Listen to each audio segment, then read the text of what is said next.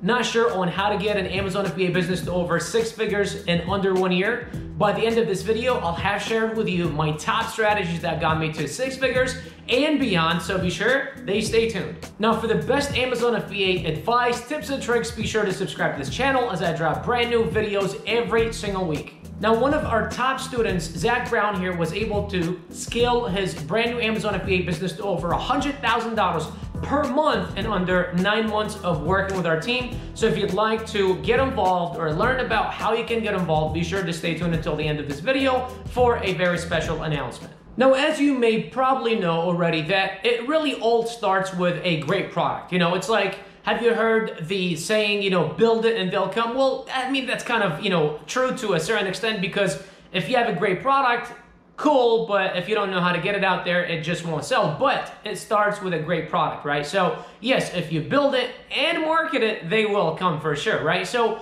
you know, selecting a great product is not the easiest task. However, once you have a duplicatable system, it's definitely, you know, becomes a lot easier. Now, in order for you to get to six figures, you do have to have a duplicatable system that can find you multiple products because Trust me, you're not going to get there with one product. At least I didn't. Right now, yes, there are some products that go on and making tens of thousands of dollars, but really, what are the chances of you getting, you know, finding that? And unless you have your own brand, your own company, maybe you're already successful outside of Amazon, you know, the chances are that probably isn't going to be the case for you, and you probably are going to end up being like me, where you do have to have multiple products in order for you to get to the six-figure mark. Now, depending on, you know, your launch budget, depending on exactly how much it is you're starting with and what it is you're trying to accomplish out of this, you know, some people like to just have any products, doesn't matter as long as they're making money. Some people like to build businesses and brands around their products.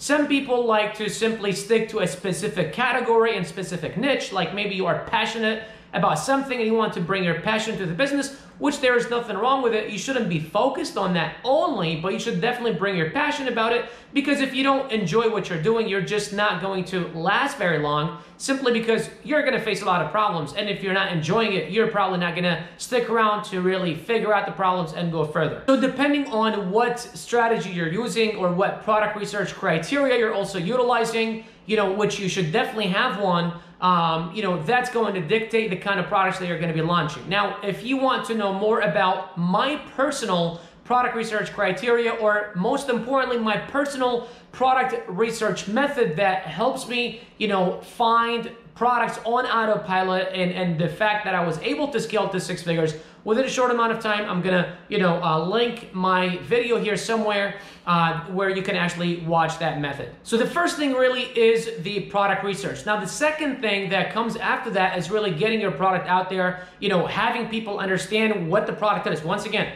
if you build it, sure, they will come, but you have to promote it for them to come, right? Which takes us to the second thing. Now, before I get there, I just wanted to announce last week's winner, which is Antonella Mendoza. Congratulations. Now, if you want to be, um, you know, the winner for next week's or this week's uh, giveaway for my step-by-step -step guide on how to launch successful business on Amazon, simply drop in the comment section BJKU. Now, when it comes to launching a product, you know, it's about multiple things. It's about number one, how you're going to get that business or that product out there, number one. Number two, how are you going to scale it? Because it's easy well not easy but it's it's easier right to scale to launch your product and then scale it for one keyword but then to really maximize you know because you could be earning two three four five thousand dollars per month from that one product but really it's probably not the full potential you know you can take the same product and then simply scale it like to 10 to 15 to even $20000 a month once again depending on the product but you can double triple even quadruple your sales if you really have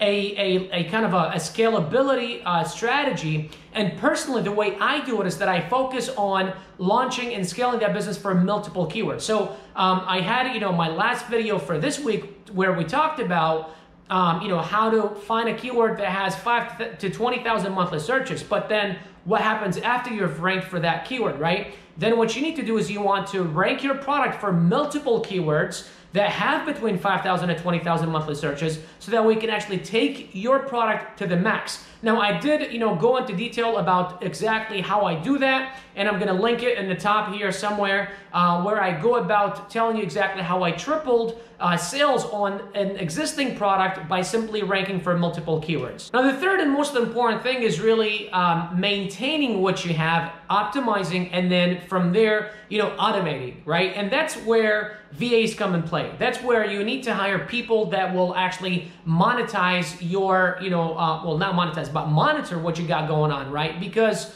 you got to understand that this is a business, and although it's great to be an entrepreneur and a solopreneur, but in order for you to expand, you need to be focused on building your business, not working inside of your business, right? Have you heard it saying, work on your business, not in your business, right? So in the beginning, it's really good and awesome for you to kind of touch and feel every single part of your business and understand every single part. But then you get to the point where what you want to do is you want to focus on the scalability, right? And that's where you start hiring people. Like you can hire cheap labor that have the potential, that have the experience. You can find VAs on Fiverr.com for five, ten dollars an hour from the Philippines, Bangladesh, Pakistan, you know, where smart people, intelligent people, you know, the minimum wage is a lot less than, you know, like Europe or North America, but very intelligent people. And actually, you know, what you do is you simply create a task list and you give it to them, and then that's where they monitor your PPC campaigns, make sure that um, you know you don't have any bad reviews, make sure that you're always generating good reviews, make sure your email campaigns are going out,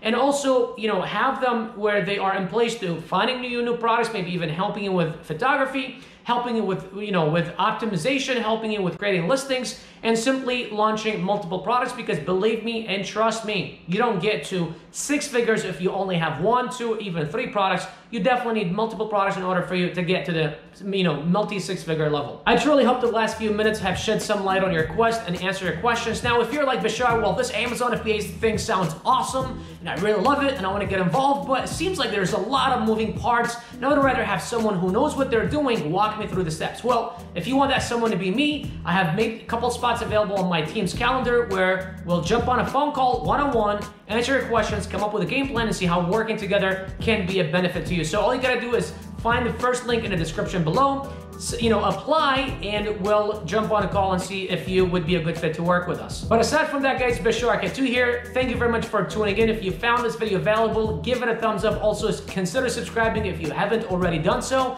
And also share with a friend who might find this video valuable. But aside from that, check out the couple videos that I've got here for you. Um, I'll see you all in the next video. Have yourselves a great day. Take care.